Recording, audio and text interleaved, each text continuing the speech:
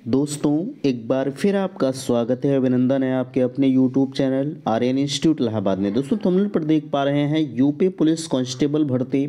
2023 को लेकर एक बड़ी अपडेट सामने निकल कर आ रही है। आप देख पा रहे हैं, लिखा गया है नए वर्ष में योगी सरकार का तोहफा। बिल्कुल, अगर आप पुलिस भर्ती का इंतज़ार कर रहे थे तो कहीं ना कहीं आपके लिए वह इंतज़ार की घड़ी समाप्त होती है।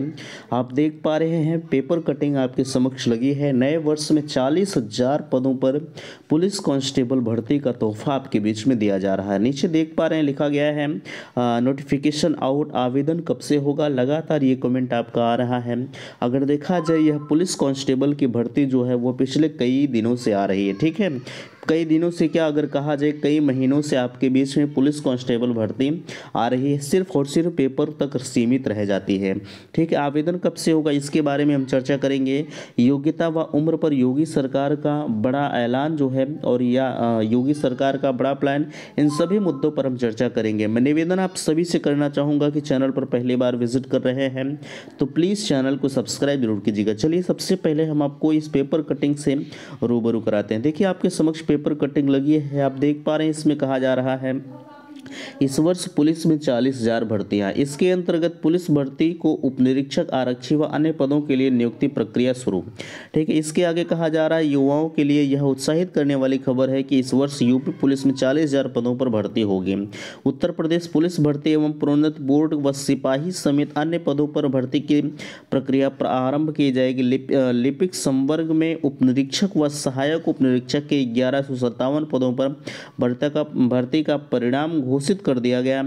बोर्ड बोर्ड ने चयनित अभ्यर्थियों को नौ वर्ष में उपहार दिया। मुख्यमंत्री योगी आदित्यनाथ के निर्देश पर पुलिस भर्ती बोर्ड विभिन्न स्तर के लगभग चालीस हज़ार पदों पर चयन की प्रक्रिया आरंभ की है। इसमें रेडियो शाखा के 2430 पदों के लिए जल्द लिखित परीक्षा होगी। इसके अलावा उप निरीक्षक, नागरिक पुलिस के आठ कंप्यूटर ऑपरेटर के छः सौ तिरानवे आरक्षी, नागरिक पुलिस की छब्बीस हज़ार दो सौ दस, फायरमैन के एक हज़ार सात, आरक्षी पीएससी आठ हज़ार चार सौ पैंतालीस व जेल बॉर्डर के पंद्रह सौ बयासी पदों समेत अन्य भर्ती, अन्य पदों पर भर्ती के लिए अध्याचन बोर्ड को उपलब्ध कराए गए हैं।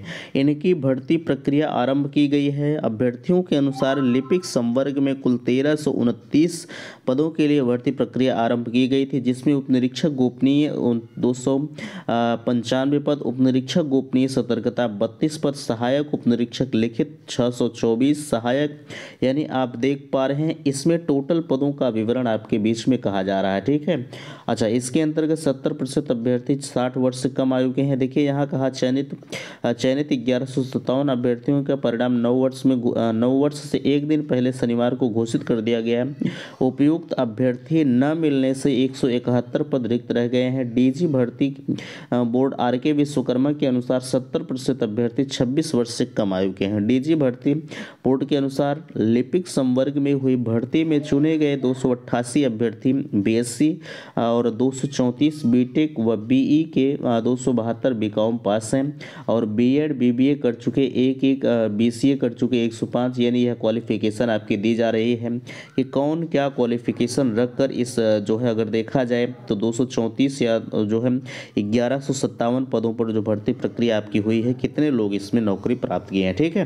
अब यहाँ चालीस हज़ार का जहाँ तक सवाल है, चालीस हज़ार का नोटिफिकेशन आपके बीच में कब जारी होगा? देखिए, अगर चालीस हज़ार की बात करें आपसे तो यह चालीस हज़ार की भर्ती की प्रक्रिया जो आपसे कही जा रही थी वह फ़िलहाल के लिए इसमें तो यह नहीं कहा गया है कि नोटिफिकेशन आपका कब जारी किया जाएगा। लेकिन यह उम्मीद जताई जा रही है कि फरवरी से मार्च तक आपके यहाँ इस चालीस हज़ार पदों की भर्ती की प्रक्रिया जो है वो प्रारंभ कर दी जाएगी। ठीक है? योग्यता व उम्र क्या होगी? देखिए, उम्र पर पहले ही जो है, अगर देखा जाए तो सरकार के द्वारा यह ऐलान कर दिया गया है कि आपको एज क्राइटेरिया, यानी अगर कहा जाए, उम्र पर कोई भी छूट नहीं दी जाएगी। ठीक है? अच्छा आप लगातार यह मांग कर रहे थे कि उम्र में कुछ न कुछ छूट मिलनी चाहिए, क्योंकि पिछले कई सालों से पुलिस भर्ती नहीं आई है। ठीक है? इस वजह से आप जो है, पुलिस इसमें उम्र की कुछ वरीयता मांग रहे थे, लेकिन अगर देखा जाए, सरकार सभी चीज़ों को दरकिनार करते हुए उम्र में न छूट देने का प्लान बना लिया है, ठीक है?